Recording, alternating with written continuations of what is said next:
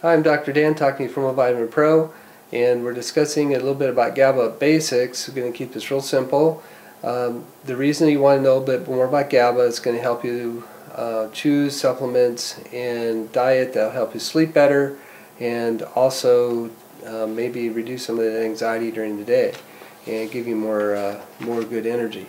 So neurotransmitters, as you know, are how neurons talk to each other. They don't talk, speak directly, but they have to use these little chemical messengers, kind of like passing notes in study hall.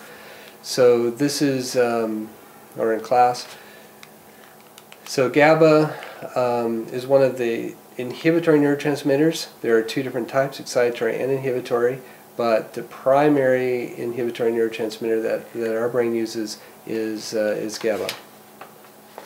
So what would cause GABA problems in a brain? You know, anything contributes to brain inflammation will can well can affect GABA levels.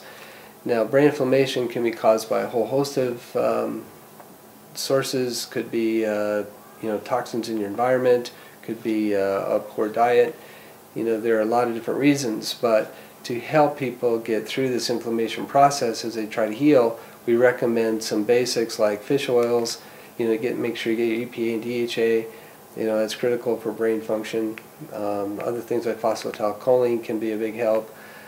And we also use uh, vitamin D3.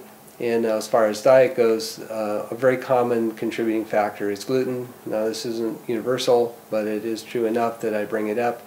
And gluten sensitivity can um, can certainly cause cause brain problems in in certain um, in certain people. So we've we've seen uh, we've seen enough people who've gone on a gluten-free diet and get better brain function. So we uh, so again I, I mentioned that.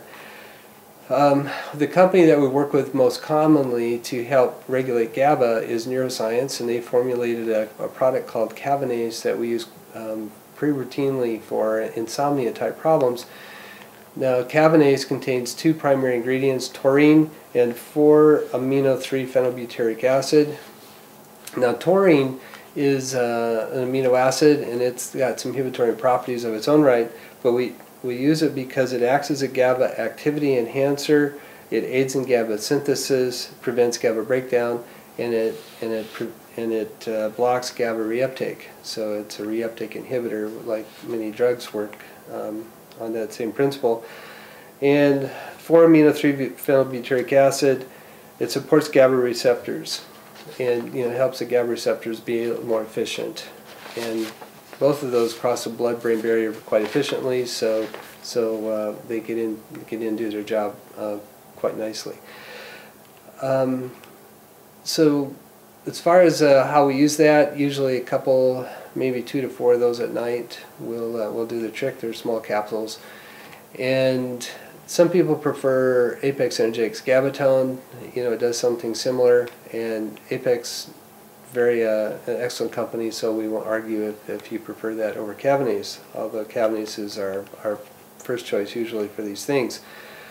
Um, now, just as a side note, uh, just addressing GABA usually isn't enough. Usually you're going to have to address the serotonin issues. Uh, if you have GABA issues, you probably have serotonin issues as well. So you will need to address those too. But that's uh, another video. So anyway, thanks a lot for listening. Hopefully that was helpful for you.